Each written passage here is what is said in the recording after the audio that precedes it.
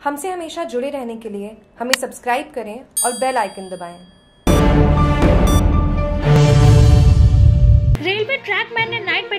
मांग को लेकर किया विरोध प्रदर्शन। रेलवे ट्रैक मैन ने नाइट पेट्रोलिंग की मांग को लेकर पाँच बंगला में सहायक मंडल इंजीनियरिंग कार्यालय के बाहर विरोध प्रदर्शन किया। आबू रोड रेलवे स्टेशन में बनास से करजोड़ तक नाइट पेट्रोलिंग करने वाले रेलवे ट्रैक मैन कर्मचारियों ने रात्रि में दो कर्मचारी पेट्रोलिंग के लिए लगाने की मांग की। पाँच बंगले में सहायक मंडल इंजीनियरिंग कार्यालय के बाहर विरोध प्रदर्शन कर रोष का इजहार किया। रेलवे कर्मचारी ट्रैक मैन एसोसिएशन के बैनर तले नारेबाजी की। कार्मिकों ने विरोध जताया।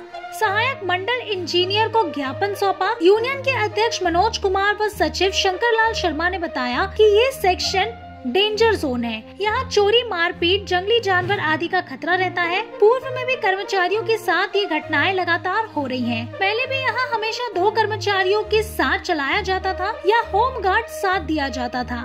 लेकिन पिछले कुछ समय से केवल एक कर्मचारी को भेजकर पेट्रोलिंग करवाई जा रही है। सेक्शन में डबल लाइन का कार्य हो चुका है, जबकि सिंगल लाइन स्टाफ के रूप में भी कर्मचारी को भेजा जा रहा है। दोनों लाइन का वर्कलोड देखते हुए आवश्यक रूप से दो कर्मचारियों को नाइट ड्यूटी में भेजा जाना चाहिए। पिछले दिनों एक से अधिक बार ट्रेन में पैसेंजर के साथ मारपीट, लूट जैसी घटनाएँ हो चुकी हैं। इसके बावजूद एक कर्मचारी के भरोसे नाइट पेट्रोलिंग कैसे संभव है? इन समस्याओं को लेकर कार्मिकों ने ज्ञापन देते हुए आवश्यक रूप से दो कर्मचारियों को नाइट पेट्रोलिंग में भेजने या आरपीएफ गार्ड साथ भेजने की मांग की। इस अवसर पर रेलवे ट्रैक मैन मौजूद थे। जागरूक टीवी के संवाददाता से बात करते हुए शंकर शर्मा सचिव रेलवे कर्मचारी track man association Abu road इन्होंने ये कहा।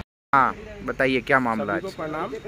हमारे यहाँ आबू रोड सेक्शन में है जो कर्मचारियों की सेफ्टी का मुद्दा है। जो एक ट्रैकमैन कर्मचारी है जो नाइट पेट्रोलिंग में अकेला जाता है पूरा जंगल का इलाका है।